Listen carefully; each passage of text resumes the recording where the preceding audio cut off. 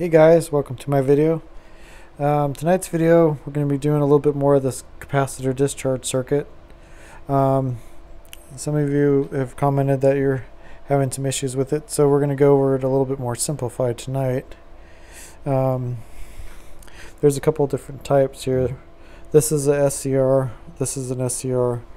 Um, this one is a little bit more complex circuit, so for those of you that can't read or don't understand the regular schematic, um, I would say start with this. Um, this one can actually do up to about 4 amps at 20 volt output, so it's pretty useful. This is a 33,000 microfarad. So if you look at the diagram right here, here's your Zener diode. It has a black spot on this side. So the positive goes through here and when it gets to anywhere 15 to 20 volts depending on what you guys decide it's going to go through. So that'll go through this way go all the way over to the outside lead. And then this is your SCR that's three leads and then this is your capacitor which is exactly like this one right here. That's the same as those right there. But it doesn't have to be exactly like this. Um, this is an old one I have that works pretty good. This one's 37,000 microfarads, but somewhere in that range um, for how this is set up is kind of ideal.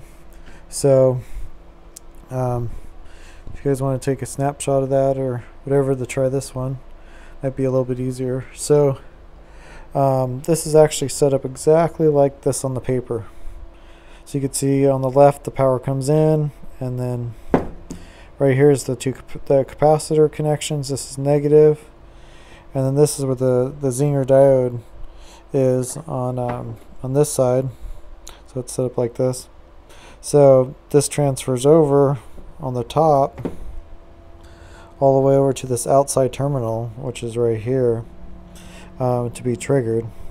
And then the middle just comes all the way through to the middle terminal on here um, or say this outside terminal.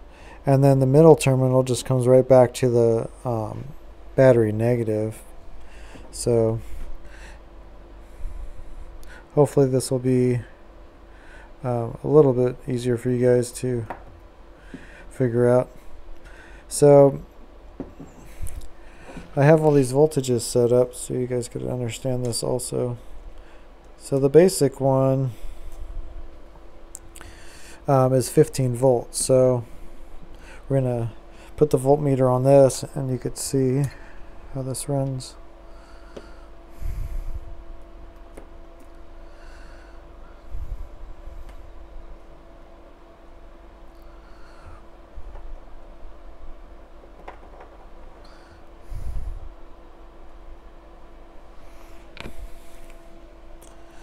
Okay, so 14.2 42 volts at the moment so we're going to just turn this motor on at a low speed.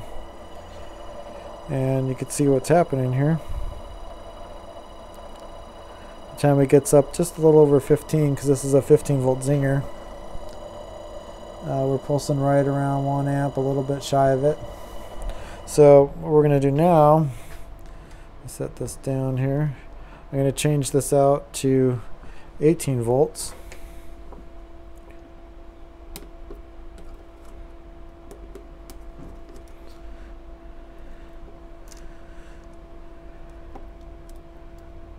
So depending on how your motor is set up, um, you could go up to 20 volts on the Zener. So this is 18 volts. So sometimes this will make your motor surge a little bit. So let's take a look now here. So let's turn this back on. So now this has a 18 volt Zener in it. See now it's gone higher and the discharge is right just past 18 just like the other one was just past 15. It's about 8, 8, 5, 8, 6. And um, another thing is if your output's too high, like if the motor's too big, it'll go like that. It'll be locked off. That means it's just too much output for it, so it just stays in the on position. There's no more pulsing. So if that happens, that means you your output's too high or you need a bigger capacitor. So now let's put in the 20 volt one.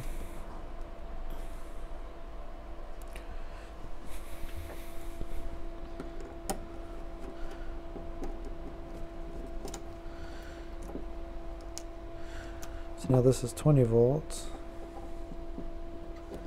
Be a little bit tricky.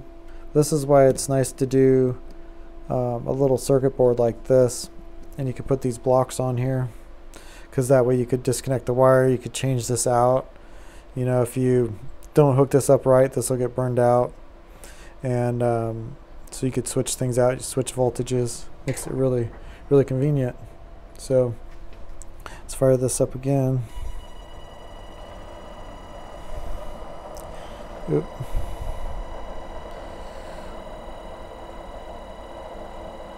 So this one's triggering uh, pretty much right at 20. So now this is 20 volt here. Now look how much output. Now we're doing 3 amps. And uh, with the higher voltage, you could you could use a lot more output. But as it starts to go too much, you could see it sticks. And that's fine. That's just direct current going to your battery. But, but it's kind of nice to have it pulsing. So. So yeah, so you do 15 volts at this 33,000 microfarad, you're 1 amp. Um, 18 volts, you're about 2. And 20 volts, you're right there around 3. And depending on how low your battery is, because if your battery, you know, is really fully charged, it's not going to go that much. It's just going to start going faster and faster. Um, if your battery is really discharged, like down to like 11.8 or so, you'll probably be getting like four to almost five amps um, off the 20 volt Zener. So, yeah. If you guys have any other questions, I hope this was um, useful for you. Just leave it in the comments. Thanks for watching. Don't forget to subscribe.